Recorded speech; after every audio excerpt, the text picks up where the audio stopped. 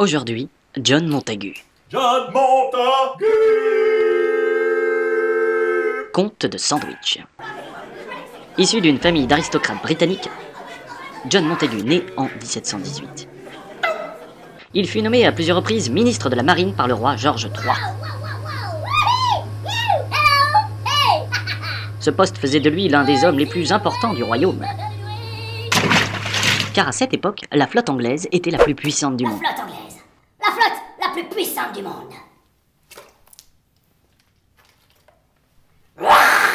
Il est quasiment certain que le sandwich en tant que plat soit lié à John Montagu. Est-ce lui qui l'a inventé? Non. John Montagu, quatrième comte de sandwich, Le est bon. était un grand joueur. Même si le comte de sandwich avait énormément de hobbies, sa vraie passion allait aux jeux de cartes. En effet, le comte pouvait passer des journées à jouer aux cartes. Mais comme il était gourmand, il était souvent gêné par les pauses occasionnées par les repas. C'est pourquoi, assez vite, il décida de manger euh, sur place. Mais ce n'était pas toujours très pratique.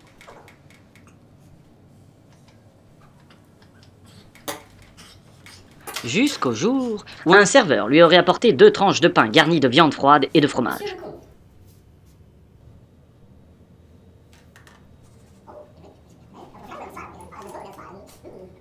Le comte trouva l'idée excellente car il n'avait pas besoin de quitter la table de jeu pour s'alimenter. Et de plus, la conception du plat lui permettait de conserver les mains propres, ce qui, pour un joueur de cartes, est primordial.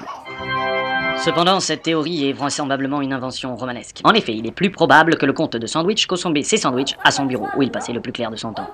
John Montagu occupa des fonctions politiques importantes dans l'Angleterre du milieu du XVIIIe siècle. Il était le patron du célèbre capitaine James Cook, qui a découvert l'Australie, la Nouvelle-Zélande et bien d'autres îles dans le Pacifique. C'est d'ailleurs en l'honneur de son ministre que James Cook baptisa l'île Sandwich et île Sandwich du Sud, les îles qu'il découvrit en 1778 et 1775. Les îles Sandwich, aujourd'hui paradis des surfeurs, que l'on connaît mieux désormais sous le nom d'Hawaï.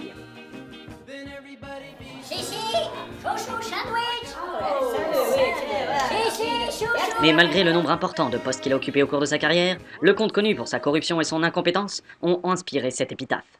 Rarement un homme a obtenu de nombreux bureaux et accompli si peu.